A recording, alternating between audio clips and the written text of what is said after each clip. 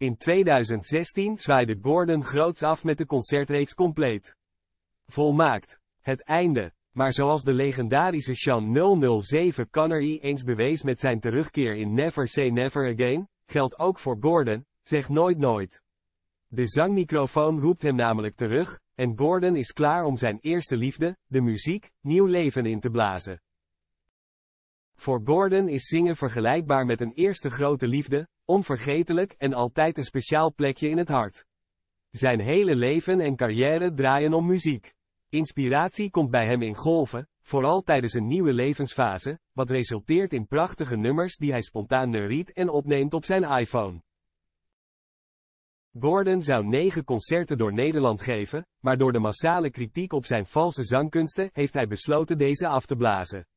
Degenen die al een kaartje hebben gekocht zullen door de theaters worden benaderd voor een refund. Voor de hardcore fans is er nog wel de optie om de zanger van Kon ik maar even bij je zijn in te huren voor je feest of partijtje.